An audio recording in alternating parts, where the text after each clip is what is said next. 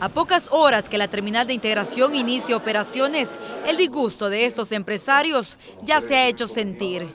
Para ellos esta inauguración es un paso obligatorio para que los salvadoreños utilicen el Citrams.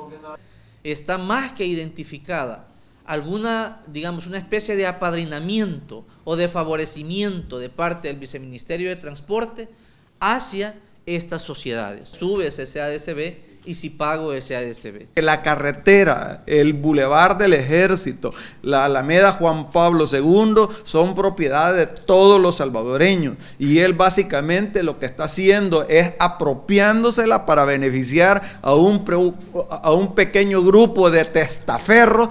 Se refería el viceministro de Transporte y apoyaba sus palabras en la Constitución de la República, explicando su inconformidad por el exclusivo carril que tiene el Citrams para su circulación, apropiándose, según él, de espacios públicos para un beneficio privado. No solo le han dado infraestructura y lo han protegido como una joya eh, privilegiada, sino que principalmente lo han hecho rentable. Añadieron que Citrams también los tiene en problemas económicos con la pérdida de 30 mil pasajeros, quienes también aseguran serán afectados con el incremento del pasaje. Hay muchas personas que no tienen más que los 20 centavos para salir desde Soyapango hasta San Salvador y hoy obviamente tendrían que gastar 55 eh, centavos para poder salir hasta San Salvador. En 20 años de los gobiernos anteriores jamás hubo tanta represión ni tanto terrorismo de Estado como lo ha habido en los últimos 7 años de gobierno. Intentaban a una sola voz hacer eco en la sala de lo constitucional para que agilice el fallo de un recurso en donde exponen las supuestas irregularidades en el funcionamiento de este nuevo transporte público.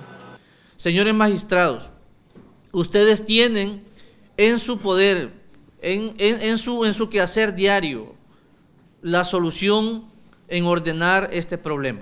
Señalan que existen intereses de funcionarios en la operatividad del CITRAMS, aunque se reservaron nombres en este caso, no así en quienes a su criterio están detrás de su financiamiento.